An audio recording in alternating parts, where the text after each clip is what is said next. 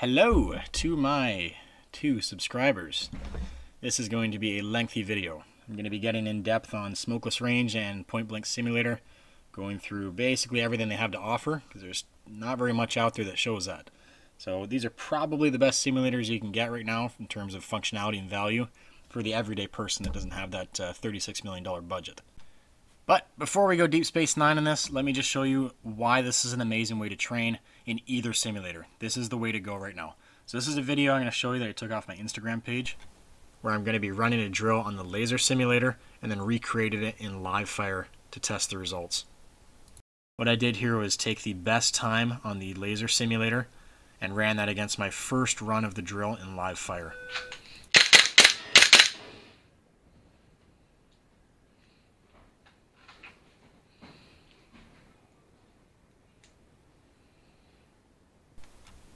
So that's showing a total time of 1.97 seconds, all A zone hits. Pop, pop, pop, pop, pop.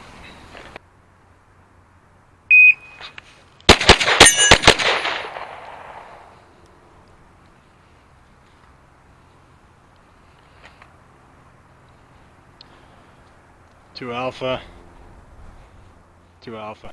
So that is awesome. Obviously, it's a one off, but it makes a point here. Um, I didn't even know it was the exact times until I got home and looked at the video, but that is an incredible feeling knowing that the work on the simulator and your results on the live fire range are going to be reasonably close in terms of time and accuracy, and that is huge for confidence in the training. So, obviously, I think laser simulators are worthwhile for training. I think either of these simulators, before we even get into this review, are worthwhile. I did pay for both these simulators myself because I'm an idiot but to be completely transparent, I do have a 20% off code now as an affiliate for Point Blank Simulator for two reasons. One, because it was offered, and two, because I have a little bit more faith in the trajectory of Point Blank Simulator. That being said, I'm going to be throwing some hate and some love at both these programs with pretty decent impartiality, I think. So, I'm going to be reviewing these as a tool to get better at shooting, not as like a plinker or a fun simulator. These are actually going to be helping us work on our skills in terms of competition or defensive applications. So you're going to be seeing that perspective as we go through this. So, how do we get started on these simulators? Great question. There's obviously a painful startup cost on either of these simulators, but that's softened if you already have a projector and screen and laser pistol. These are basically the cost of a gun purchase. Right? That's how I justify it to myself. You know, we don't need to buy a 26th Glock. We need to get some training, right? So, as a reference point, I'm just going to go through the equipment that I have that I'm running both these simulators on. Really not a techie guy, but uh, these are the specs of my projector, just so you have a baseline of what I'm using in comparison to what you're actually viewing on the screen here. And for reference, that projector is worth 260 Canadian dollars. And this is the sweet refurbished desktop I got to solely run the simulators on. Again, this is $300 Canadian, so you're going to be able to get it cheaper. Probably. Uh, this is the specs, and I also put a graphics card in there. As you can see, I'm not running very hardcore equipment here. I'm just trying to get these things up and running. But uh, you will see later on there is a couple frame rate issues with Point Blank Simulator. So this is what it looks like in real life. Look at that. Yeah, that's the projector and the camera on top which picks up the shots on the screen. So let's go over the cost of each program. So it just gives us a little bit of a reference as we're going through this very lengthy video. So you have three options with point blank range. It's the personal range, and you have to purchase basically like a user account underneath the personal, professional, or commercial, which gives you access to the entire program, and there's additions inside of that. So at a bare minimum, we've got the personal account selected, the competition add-on, and the $245 one-off cost in terms of the actual camera to pick up the shots. And that comes to $412 USD. Jumping over to the smokeless range, same thing here. We got to purchase that camera and the software right off the bat, which is 550 bucks. And then additionally, we're going to get the competition pack, which is $299 for IPSC. That's kind of the bare bones essentials to make this worthwhile on both programs. And that comes to $849. Alright, so obviously a higher startup cost, but with Smokeless, that's a one time fee. So if you look at the super mathematical breakdown I've done here, you can see the startup cost is pretty similar for both. That gives you like an initial program set to play with. Um, I wouldn't say that's substantial enough to continue training with daily, uh, but it, it gets you shooting at the screen. So if you look here though, obviously Point Blank Simulator is a monthly subscription costing, It's a little bit different. So in the long run, you are going to be paying more with Point Blank Simulator, but it is cheaper to get started with if you want the full shebang right off the bat. And because I went full dum dum here, uh, I had to take this video down off of YouTube and add this little picture because that's not the price that I'm paying nor you would pay if you're using the code. So in all fairness, that is the price for Point Blank Simulator. My apologies. All right, look at this. There we go. We're actually starting the video now. Smokeless range. Okay. So you can see all the additions here that we've got loaded up. And right here is what you're getting with the startup pack. Alright, so you're getting these 10 game drill simulator thingies. And I'd say about half of those are pretty gimmicky, kind of useless. So, getting into the calibration here. Pretty intuitive, you just click the calibrate button. It does the little dot dance like this, super cool. And goes through a couple more sciencey things, and then you're calibrated. Bam, look at that. This actually takes about a minute to do in real life, um, but I sped it up because this video is already boring enough. Alright, we are four minutes in, and we are now going to shoot some thins. Look at that. So we're pulling up Bomb Blast, which is rad. Look at this. Bam, bam, bam, bam, bam, bam. Super cool. Uh, it actually is really useless. Like I mentioned earlier, there's a few of these games that just feel like filler content. Like very gimmicky. And again, we're reviewing this from the perspective that we're spending this a thousand bucks to get some training in, right? Um, I don't think any of us want to be spending that money to just be nostalgic over basically a glorified duck hunt that a high school kid could have made on a weekend. Are you ready? Sorry, that's super salty. I apologize. The kids used to love these games, um, so they're not entirely useless. This one here actually is pretty decent. Uh, you can use the timer up in the top right there to actually just run it like a regular range. So this is where you can work on your basic drills, you know, draw from the holster, double taps, reloads, all that kind of stuff, just based on the timer up in the top right corner there. But it's kind of annoying because there's no minimum delay on the timer. So if you're not close enough to your computer to click the mouse, you have to shoot that and then put your gun in the holster very, very quickly. So here you can see the immense struggle I'm having with my tiny brain. Oftentimes you'll shoot, sorry, you won't shoot, I will. Uh, I don't want to lump you guys into the dumb dumb camp too, but the sequence for me is normally shoot, reholster, forget that you haven't stopped the timer yet, so then you have to draw, stop the timer, then start the timer, then holster really, really quickly so you don't miss the buzzer going off, and then restart that whole process. A little bit of this could be solved with just a minimum delay option, but really they need what Point Blank Simulator has in terms of pressing the spacebar to start, or even just using the foot pedal. So you can see as I've been going through here, the options for all the stages. They do allow a lot of uh, change in regards to targets, time, distance, all that kind of stuff. So that's a bonus for Smokeless. So this one's pretty lame. The only interesting thing I've found with this is the old shooting the guy in the back dilemma. You can see here the delay between processing that the target is turned red and actually stopping your finger from sending extra rounds onto it. So speaking of gimmicky stages, uh, this is actually not one of those. Uh, it looks like it. This is actually one of the stages that I come back to on Smokeless quite often. It's a pretty decent drill for target transitions, reaction time, all those cool buzzwords. The speed drill one here is also pretty decent. The tracking drill, not so much. Sounds cool, in reality pretty lame. This one here though, the transition drill. This is a little bit of a gem. So you can go through, select your target, and then click no shoot target. And I have this on two player mode so I can get extra targets in there. So the one with the X is obviously a no shoot. But there's over penetration, so if you're shooting the paper in front of it, it's going to go through and hit the no shoot. And that'll show up as a little red dot at the end of the stage where you weren't supposed to shoot. This is probably my favorite uh, drill in the startup pack. Just because you have to very mindfully place your shots on the transition. That's not something that you normally have to do uh, randomly like this. Alright, so that is your startup pack for Smokeless Range. Those 10 little drill game things. So this is the main event of Smokeless, the IPSC add-on. There's 10 stages that you can shoot right now in this version. And I apologize for that notification at the top. I'm an idiot. I should have dismissed it. Ready. Stand by.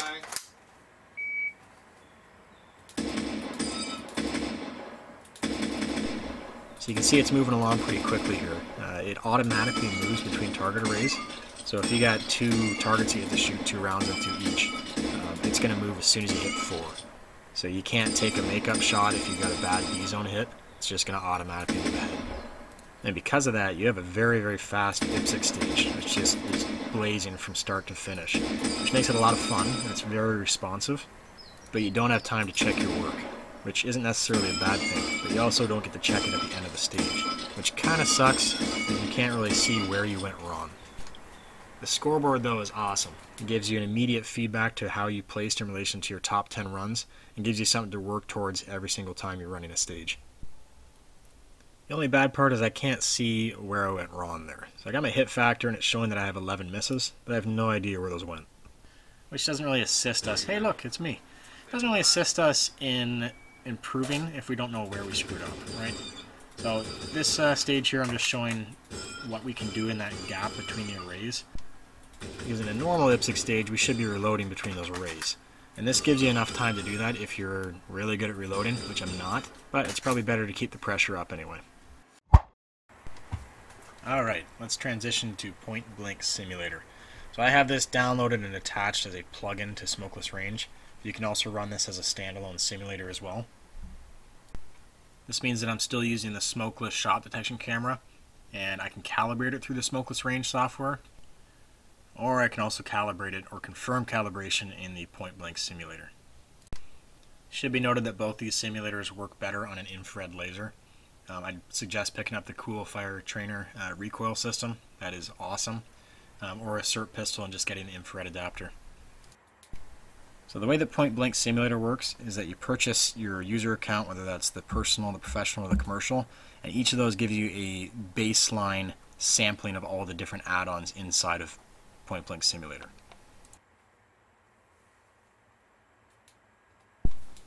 So the static target is kind of lame. Um, it doesn't have a timer function like Smokeless, uh, but you can move it back a lot further than Smokeless and test the ballistics that they have built into to Point Blank Simulator, which is pretty cool.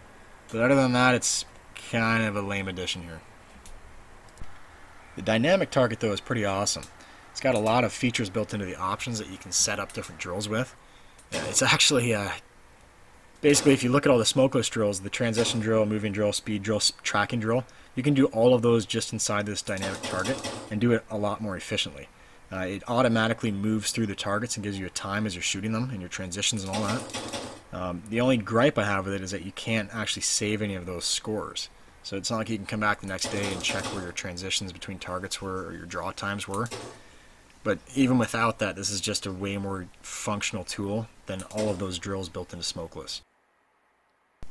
So you can see the times displaying and then disappearing when I shoot the next target. It'd be really cool if they had some kind of a ticker along the side of the screen there. It's compiling all your times in this session. Uh, and then you can get your average for your draw times, all those kind of things. It'd be very helpful. Uh, you can also see here it's a little bit glitchy sometimes. Um, obviously, Point Blank Simulator is a little bit more of a new program than uh, Smokeless is. There is sometimes you're going to be uh, experiencing some glitches. Not a big deal. These courses are underneath the plinking category. As you can see here on the ready screen too, it gives you options for your ammunition and your condition. So if you're running 9mm or 45, it's going to have different ballistics for the drop at that distance that you're seeing. The shooter condition doesn't change anything with the stage or the times, uh, from what I'm seeing. Uh, so it's kind of irrelevant right now. You might make more of a use for it later on, but it just seems like it's a button to press. These plinking games are kind of cool, just as a demo for the program, but uh, they're not something I keep coming back to. You can also notice with those that my computer's having a little bit of struggle at times to keep up with the program. And sometimes I can't get hits on the targets until they've completely stopped moving. So this drill is still underneath the plinking category, uh, which is pretty cool because it's uh, kind of IPSC-y. And it throws these silhouette targets on a random starting point every time the timer goes off. Very cool. And you're seeing on the review stage there the immediate benefit to Point Blank Simulator, showing exactly where your hits landed. And you'll see later on in the IPSC category that it gets even more detailed than that. This is another random plinking target array. Kind of cool because you can play with the ballistics a little bit more in these ones. Launching rounds at those far silhouettes. The big difference with Point Blank Simulator is that little arrow in the bottom left corner, sometimes the bottom right corner. Uh, what that gives you is the ability to end the stage at any time. Um, so you decide when you move to the next target array or when you complete the stage. So in point blank, you choose when you're done, and in smokeless, other than in steel challenge, the program decides when you're done. So you can see under the category drills you have baseline, civilian, and CTE. So I paid for the CTE add-on to my professional user account, and I received the baseline drills as well, just like you would with any of the other accounts. These drills are cool because they give you an actual metric to aim for. At the end of the drill, it's going to tell you if you know you passed or failed, and then what your level is comparatively to your score. And the review stage button. This is a huge improvement over smokeless range. Having the ability to see precisely where your hits landed on the target gives you so much more data. Being able to see exactly where I placed rounds allows me to dissect where I'm screwing up. So on a transition, I can see that I'm shooting too early or I'm sweeping over the target. And if I add recoil with the cool fire trainer, I'm able to see when I'm outrunning the gun. Uh, just a quick tangent here. Pairing this simulator with the cool fire trainer is absolutely the closest we can get to live fire in 2021. I think we just got to remember when we're training with dry fire and laser ranges that we can get a little bit overzealous in our outlook on our skill set if we're not putting that recoil back in from time to time. So the drills category for Point Blank Simulator is a big win for them. This actually gives you a metric to keep training against some drills that are ongoing in the shooting community and even some classic and staples like the El Presidente. For new shooters, it's nice to have these right here available for you right out of the gate. You could build these in smokeless range if you purchase the open range add-on, but it wouldn't be quite as sexy. You still don't have the review stage function, and you wouldn't have the metric in terms of the top times right now. So as mentioned earlier, in point blank, when I'm done shooting my stage, I have to go down and shoot that arrow down in the bottom left, or click the foot pedal. If I've attached a foot pedal to my computer and assigned it to that left and right arrow key, as well as the space bar, then I can do all the functions of the course just with my feet. That gives you the ability to keep your gun in the holster between stages. Um, in smokeless range, you have to actually click shoot to start. So now we're into the actual competition add-on pack for point blank. This is the IPSC category. And surprise, it looks like an IPSC stage. Pretty cool. You blast the targets, click the arrow, or step on the arrow. You can see the hits on target here too are a lot less noticeable than smokeless range, which I think is beneficial. Just helps us call our shots a little bit better. So you can see this looks a lot more realistic than smokeless range. Definitely more immersive, and the targets actually look like real life. Here we have the stage breakdown. You can see there's a lot more useful data here than in Smokeless. And the review stage function. Goodness, that's gorgeous. So you can see how good this looks as it's going through here. And this is an amazing function to have to see where the hits are actually landing. It also shows how much detail went into this. It's a lot more immersive. Like the targets are actually on stands. The no shoots are on stands in front of the target. Shadows casted everywhere. It looks great. The user interface and menus on Point Blank, however, are not quite as polished as Smokeless. Doesn't look as good, and it's kind of clunky as you're moving through. It's not quite as user-friendly as Smokeless, just in terms of being straightforward. Some of the options are a little bit confusing. I think the scoreboard system's a lot better in Smokeless. Having all your scores just kind of dumped into this generic box here on the, the menu, it just gets kind of lost. Um, it's certainly more useful to have your scores presented at the end of your stage so you know right there immediately if you killed the stage or not. So these screens are actually what you get on the desktop if you go into your user account settings. You can't actually get this from the program. So you can see that is my chicken nuggets. They are done. I will be right back. So you can see there's a ridiculous amount of options here in regards to ammunition choices, user set lists, and stage preferences. These are kind of hard to find in your account settings. I didn't even know they existed until recently. Um, it's kind of like the old Windows versus Linux debate. Like these are here for you. It's pretty awesome to be able to have those options. It's just if you have the know-how and the time to be able to actually use them. That being said, the person that has 17 and a half minutes between work shifts probably is not going to appreciate this as much as just hopping on Smokeless and getting your scores right up front. Alright, moving on. This is the motion capture feature, which is pretty cool. Uh, I apologize for the fan in the background. I burnt my chicken nuggets, so I'm going to be extra negative for the rest of this review. Uh, this runs on the Kinect for the Xbox One. This is a super cool idea, uh, but for the average dummy user like me, it's just not ready yet. Spent about two hours trying to get it to calibrate. Uh, gave it an honest effort, moving the Kinect around the room a bunch of times, uh, but this is the result of that. It's just me moving around the room on this imaginary motorcycle, looking like an idiot. I did eventually get it to read the starting position, uh, but even then, it was very finicky and just not usable. Keep in mind, this is my experience with it. Um, obviously, the Kinect runs pretty darn well with the software. You can watch videos from Point Blank Simulator running it, which is awesome. It's just for the average idiot that's going to be setting this up in their house like me. Yeah, I don't know. It's I think it's got a long ways to go. This being said, Point Blank Simulator hasn't come out and said that this is a 100% functioning option yet. It's really still in testing, uh, and they were pretty upfront with that. I've posed about 63,000 questions to both of the owners of this company in regards to setup. Um, they've been very approachable and helpful with all of the questions that I've had.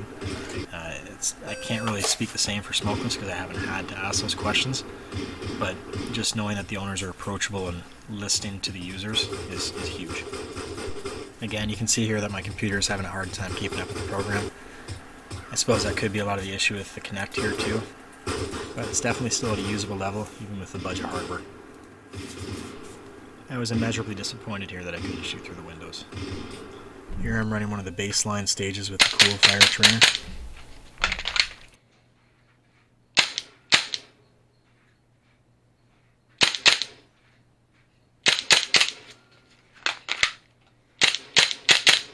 And in this stage, I'm just using the foot pedals to move between the arrays of targets.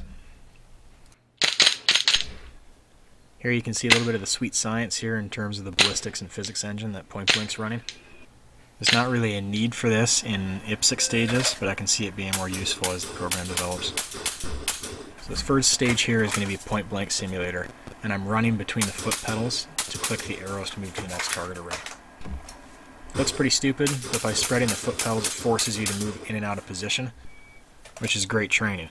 Now this is on smokeless, where I'm basically simulating the same thing without the foot pedals. If you don't have foot pedals, or you're just feeling lazy, you can just shoot the array and then shoot the arrow to move to the next array. It just doesn't feel good. Uh, it really breaks the feel and flow of an IPSC stage. So basically how I'm doing this now is if I want a very authentic feeling training session, I've got the time for that, I'm throwing the whole belt on, I'm putting the weighted mags in, I'm doing the recoil on the cool fire trainer, and I'm running between the foot pedals for point blank range. If I'm feeling super lazy or if I just want to get the reps in, I'm just going to do it on smokeless with the automatic movement.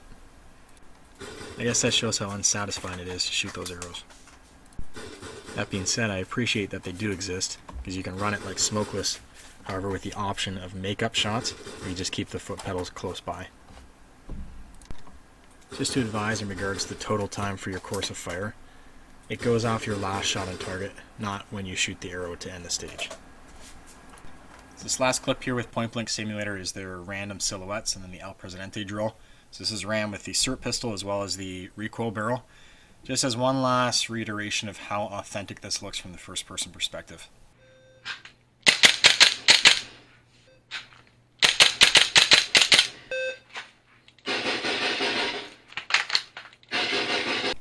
So that is the apples to apples comparison between Smokeless Range and the Point Blank Simulator in terms of a budget for budget, competition for competition training simulator.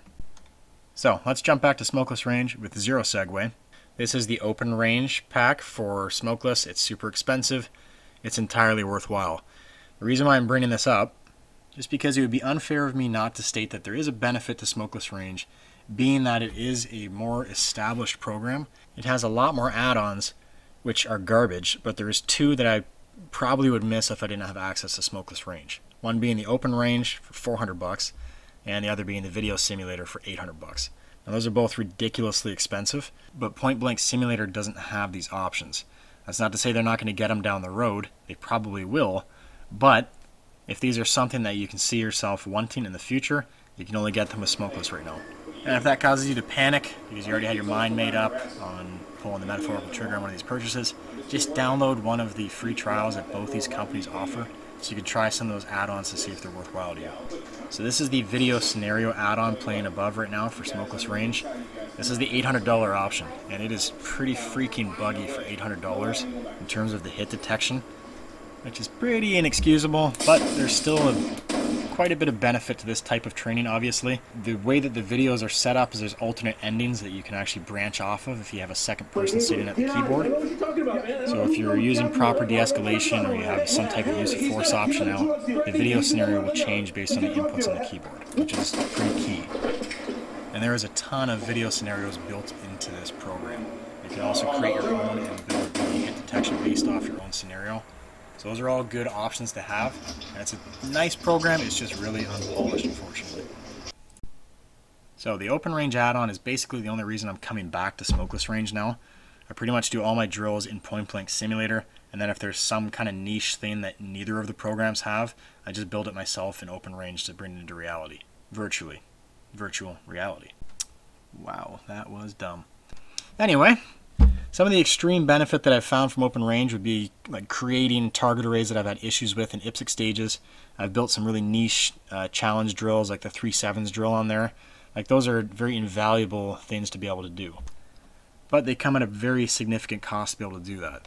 So all said and done with those programs, you're pushing around $2,000 just for the software to get into that. So that's up to you if that's worth it or not, but I needed to mention that just so you guys know that that is out there with Smokeless Range.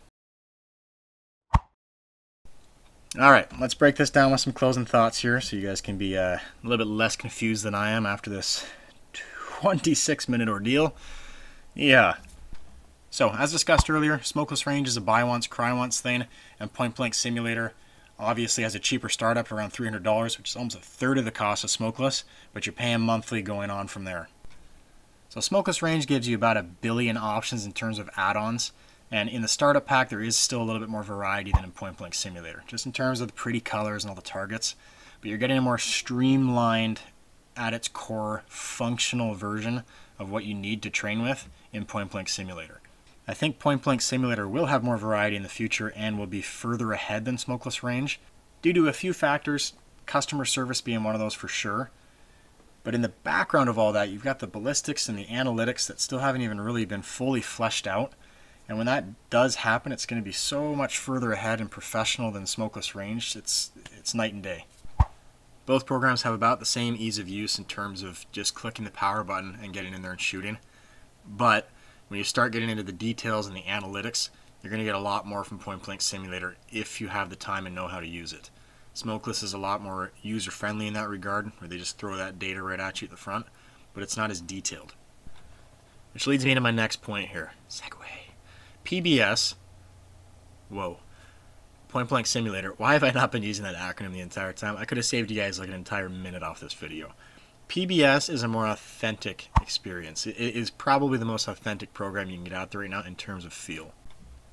With a recoil trainer like the Coolfire trainer, your belt on, your mags, the foot pedals spread across the floor, you know, you're looking at bullet holes that are the real size on the target, so you got to call your shots you're hitting about 80 90% of what it feels like to do live fire. What you're missing in that 20% is that little bit of extra recoil that live fire gives you. Obviously, it's going to be a louder bang and probably a little bit of stress too about spending 30 cents every time you pull the trigger. That 80% though is tremendously valuable. We are one to one on the same competition gun we're going to be using, same trigger. You know, all of our transitions are obviously going to be the same. You're looking at targets that look like the IPSC targets, the stages look like IPSC stages. It's incredible. They've absolutely nailed that. On the flip side, Smokeless is still fun to run through the IPSC courses and all the standard games, but it still feels a little bit more arcadey. It's a little bit more gimmicky and feels like a game.